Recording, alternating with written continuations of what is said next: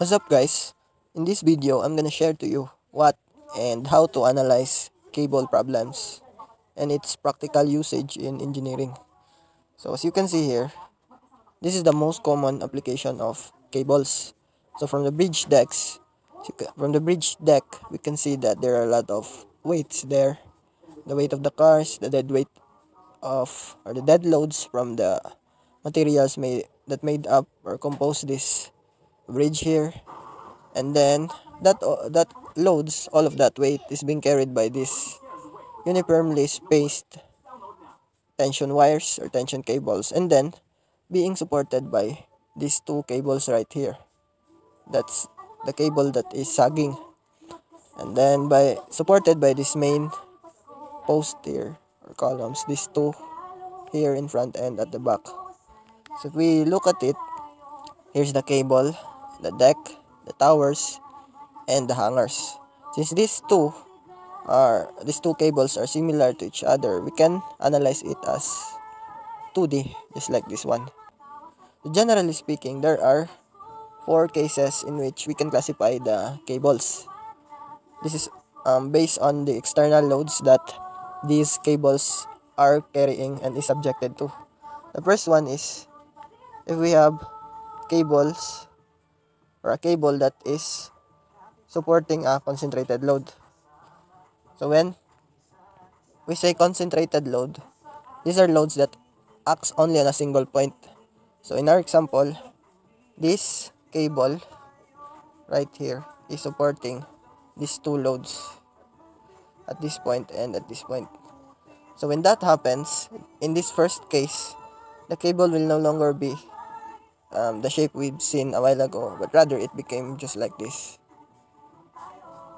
The loads, these concentrated loads, cause the cable to have um, small segments that carries forces. The second is cable that carries unif uh, carries distributed load. So from single or concentrated force, now it carries distributed but then not uniform. So not uniform distributed load. This simply means that as we go from left to right, the loads varies. The loads varies. You can see here, it goes up and then down, up, and then it becomes stronger and lesser. And so it varies but not uniform. And then the next case is if we have um, cable that supports a load that is still distributed and also uniform. So it supports uniformly distributed load. So we can assume this as bridge deck.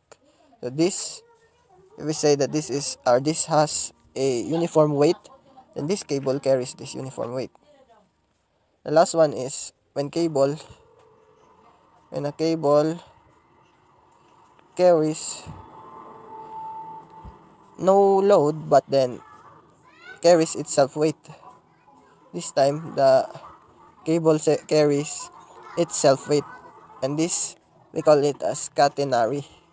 The shape of this is now different from the shape of these two. Since these two are parabolic while this one is not Although there are cases that catenary can be assumed to be to have a parabolic shape. But what important here is that we know how to analyze each. So the first type we have is due to or subjected to concentrated load. This one distributed and this one is and uniform. And finally, the catenary due to its self-weight. Here, these three, we assume that their weight is negligible compared to the loads they carry. While this one, we consider its weight. So that's the main classification of cables based on external loads.